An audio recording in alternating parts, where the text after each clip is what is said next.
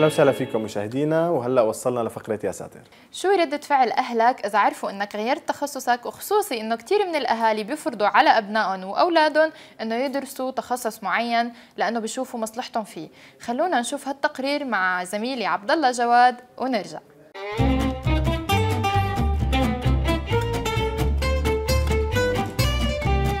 مرحبا مشاهدينا نحن هلا مقابل الجامعة الأردنية راح نشوف ردة فعل الأهالي لما يعرفوا إنه ابنهم أو بنتهم حول تخصص. خلونا نشوف سوا.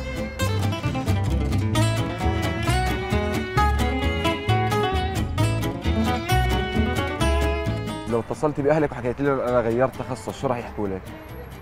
إيه ما بيصدقوا. ما عم بترد ماما. مشغول ما حدش سأل فيه. ما بيهتموا بالموضوع. صار لي سبع سنين بالجامعة أصلا. حلو يلا بالتوفيق إن شاء الله. موفق شكرا. ما بدي أحكي لك. إيش؟ إيه سمحونا نغير تخصصات. وقلت لهم يمكن أغير هندسة. آه ممتاز. عن جد؟ آه طبعا. أي هندسة؟ اللي بدك اياه طيب هندسة ولا صيدلة؟ عشان أضلني بتخصصات الطب يعني وهيك. مره هندسه مره صيدله هذا أمك ديمقراطية كثير. ولا ديمقراطية ولا شيء عارفه إني عم بتخوت طيب ماشي. اسمع يما تخصصنا يما طلع صعب كثير. وبدي احول مش قادر له. بصراحة والله يما مش قادر له جد يعني بمزحش. أنا قبل شوي بطلع على خطتي وبطلع على المواد كثير صعبة وبدي أحول لشيء أسهل. لا والله يما مع إنه معدلي جيد جدا بس يما مش راح أقدر أكمل. أنا حولت حولت تخصص يا أبو. حولت تخصص. حولت تخصصي فيزياء.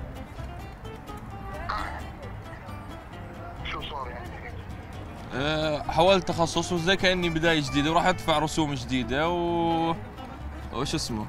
إجراءات من أول وجديد.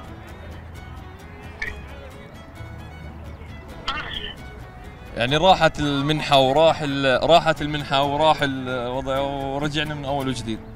احسن يعطيك العافية. المواضيع سنة نحول ولا لسه ما مكسورين من التحويل الأولاني. ماشي يابا خلص خلص خلص يابا. مع انه مع إنه فكرتك صرت تفهم مضبوط يعني فيزياء منيحه منيحه مالها فيزياء احسن من التخصص جيد جدا يعني. ماشي يابا يلا بالتوفيق إن شاء الله. الله يخليك يعني يعني قلت معقول ابني صار يفهم؟ حول فيزياء صباح الخير أنا غيرت تخصص آه، آداب شو؟ غير. ماما غيرت تخصصي. اضطريت. إيش؟ أي تخصص؟ تخصصي جامعة. ليش؟ غيرته. إدارة أعمال. كيف بتغير؟ على كيفك بدون ما تسألي حدا؟ آه اضطريت. ضروري. مش قادرة أكمل بهذا التخصص. لا والله. آه والله. بتخوت انت ولا شو؟ لا ما بتخبط. عن جد بحكي. احكي لها ليش؟ شو المشكلة؟ طب ليش عملتي هيك بدون ما تسألي حدا؟ يابا أنا حولت تخصصي. شو أول تخصصك؟ تصميم داخلي. تصميم داخلي؟ آه. ليش حولت تصميم داخلي؟ لا لا ما تحاول خليك خليك على زمان تحسن لك. يلا أوكي يابا وهيك بنكون شفنا ردة فعل الأهالي لما يعرفوا إنه أولادهم غيروا التخصص. هلا بنرجع للزملاء بالاستديو بفقرة new media رح يكون ضيفنا اليوم عبيدة أبو قوادر المتخصص بشؤون التكنولوجيا. يلي رح يخبرنا عن الإنستغرام وكيف نستخدمه بالطريقة الصحيحة وعن ال influencer. أهلا وسهلا فيك عبيدة. أهلا وسهلا فيك. أهلا وسهلا سلام فيك مهندس. عبيدة. عبيدة بداية آه، هلا أي حدا فينا يعني بالإنستغرام بحب دائما يكون عدد المتابعين كتار كتير. فشو هي الأساليب الصح والطرق الصحيحة يلي فعلا بترفع من عدد المتابعين لأي شخص فينا مثلا أو غيره. ساعد ساعد هي عن جد هي بحاجة. على أساس أنت ما بدك. مضبوط. هو هلا أول شيء بدي اشكرك على الموضوع الحلو. فعلا كثير ناس الآن عم تتوجه وخصوصي على الإنستغرام. يعني انتبهوا حتى على الفيسبوك ال- نحكي السناب شات أصلا عم بينزل بشكل طبيعي. فكثير ناس عم تهتم بالإنستغرام وصار هدف حتى للشركات كثير. الشيء الخطوات هي ما في شيء يعني إنه نحكي اختراع أو سحر أو كيمياء بس مجرد إنه يكون في عندك محتوى شيء بدك تقدمه للناس. إذا أنت بده يصير حسابك خلينا نسميه بزنس يعني بدك توجهه لشيء معين. بس وحاب- يكون يمكن صحيح أو متمكن الشخص أكيد يعني بده يكون في عنده محتوى مو أي. محتوى. تماما. فبده يكون في عنده نشر بشكل يومي. يعني لازم كل يوم ينشر ولازم يصير ينشر بطريقة ذكية. إنه ينشر شغلات يصير فيها تفاعل engagement أكيد. يعني إنه بس عبيدة في ناس كثير بتسأل عن ال application يلي بيكون على فرض إنه فوت مثلا أنت بتزيد عدد المتابعين 100 إذا بتتابع 10 من حسابي. هذا الحكي. فهذا صحيح ولا لا؟ هذا أكبر من أكبر المشاكل بصراحة. أكبر المشاكل اللي الناس بتعملها. إنه بتروح على applications معين ممكن تدفع مصاري بحكي لك مثلا ب 10 دولار أنا بجيب لك 100 follower أو. هذوك هم بسموهم bots اللي هن يعني يعني حسابات وهمية أو حسابات آلية. فهذا بيضر ما بينفع. ليش؟ أنا يوم أعمل يكون عندي مثلا 100 شخص. حطيت صورة 100 شخص حقيقيين. حطيت صورة نشرتها. ف بخوارزميه الإنستغرام بيحاول يوصل الصورة. إذا الهاشتاج صح اللي حاطه أنا كمان راح نحكي عن الهاشتاجات راح يحاول يوصلها للناس المهتمة بهذا المحتوى.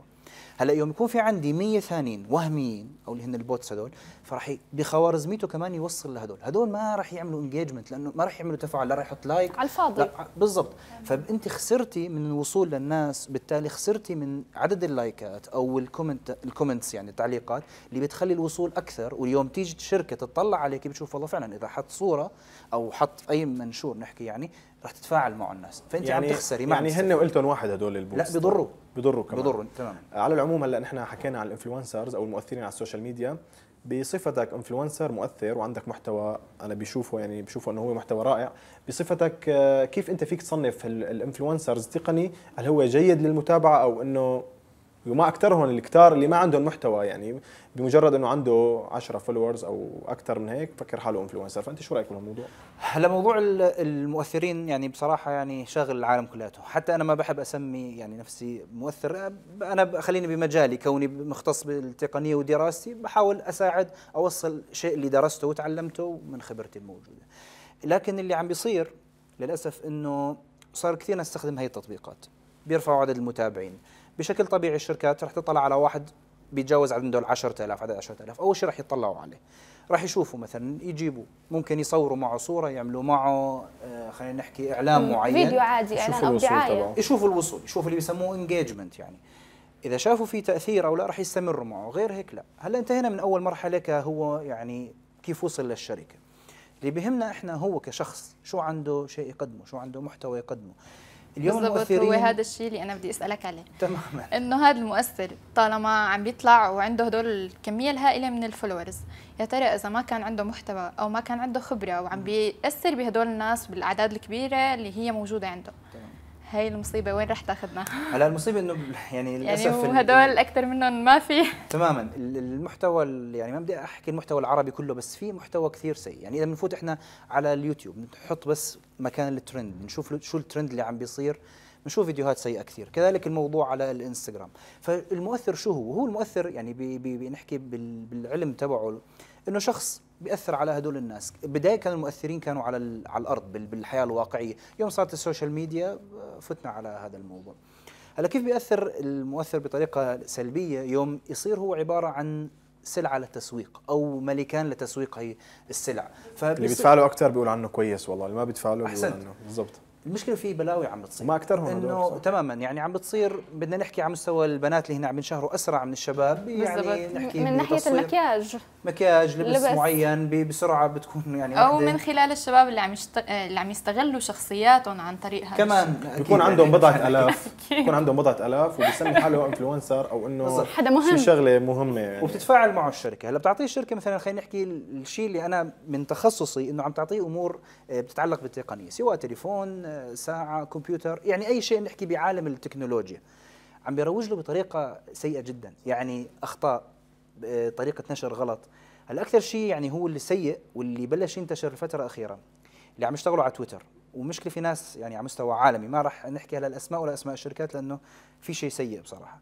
فمثلا كان أحد الممثلات عم بتروج ل آه، هي حتى ambassador يعني هي آه، سفيرة لأحد الشركات من اندرويد فعم تعمل tweet على عم تحط تغريدة على تويتر بيطلع عندها بيطلع عنها أو يعني شفنا كل الناس إنه ال tweet من آيفون تويتر من إيه. آيفون وهي عم تعمل. بتروج لتليفون أندرويد فيعني فضيحة كبيرة صح غير إنه في ناس. آه طبعا في في وغير لسه في موظفين من نفس الشركات من هواوي. موظف عم بيحط عن قوة تليفون هواوي وطلعت حاطة ال tweet من آيفون. من آيفون صح. يعني, يعني في كثير يعني مشاكل. في كثير تناقضات. خلينا نتوجه آه، هلأ للهاشتاجات. احكي لنا عن الهاشتاجات الصحيحة أو الممكن إنه تكون آه، مقترحة لل post اللي أنت عم تنزله لحتى يصير وشو في بتعمل. لأنه أنا صراحة ما بعرف شو. بتعمل هاشتاجات يعني. الهاشتاج على الإنستغرام كثير مهم. أصلا بدون هاشتاج الوصول رح يكون كثير ضعيف. الانستغرام بيحد لك لحد 30 هاشتاج. أفضل شيء تستخدم حوالي 25 هاشتاج. الهاشتاج الاصل يكون يعني شيء بيشبه صورتك. شيء قريب من صورتك. شيء related اللي عم أنت حكيت حطيت عن الأكل في. ماتش بالموضوع بين بالضبط. الهاشتاج والموضوع أو الفيديو. حطينا عن الأكل. بنحط شيء مثلا إنه related شيء بيتعلق بالأكل سواء كان نحط food طعام يعني مو نكتب make up artist هيك. الأكل شو دخله؟ فلا لا ما هو المشكلة من هيك إنه- بيعملوا هن إنه في ناس يعني في استخدامات سيئة كثير إنه في ناس بت مشان تروح تعمل آه، وصول كبير بيروحوا على فيك تعمل search بالهاشتاج على الترند، إحنا آه. وبيشوفوا شو trending فأحلى شيء إنه في مثلا كان الناس تحط شيء عن نحكي الأكل أو التصوير وعم تفرج على الهاشتاج حاط كيكي يعني كان. بالضبط. ما المهم اي أي هاشتاج عامل ترند بيصير بيعمل الوصول. بس هو عم بيعمل وصول لناس المهتمة خلينا نحكي بأغنية كيكي أو بالحدث أو تبع أو كيكي الشخص غير هيك الغلط. أو غير هيك عبيدة مثلا في ناس حتى لو مجرد تنزل صورة أو فيديو عادي بتحط أسماء المشاخ... ال- مثلا هم المشاهير بهاشتاج مثلا خلود وأمين فرح الهادي وعقيل نانسي عجرم أو أي حدا. ومع ناس انه. يعني ما بيكون له علاقة بالصورة أو الفيديو. بالضبط. ما هي هي هي يعني هي طريقة استخدام سيئة. فهو لا الأصل إنه إحنا في كثير شغلات بتساعد اللي هي الصورة تكون أكيد. إلى جودة واضحة حلوة. وظابطة. هاشتاج صحيح. إذا في مكان المكان تحطه بيساعد لأنه بيصير يطلع للناس الموجودين بالمكان. الصورة مو إلك فيك تنشرها لكن حط tag للشخص الموجود يعني لصاحب هي الصورة. واذا معك ناس حط لهم tag وخلاص يعني. مهندس عبيده بدي أتشكرك كثير لوجودك معنا. والله يجيرنا من ردة فعل ال influencer الصغار هدول اللي حكينا عنهم. شكرا لك عبيده اليوم. شكرا شكراً لوجودك لك. معنا عبيد. مشاهدينا فاصل صغير وبنرجع. خليكم معنا.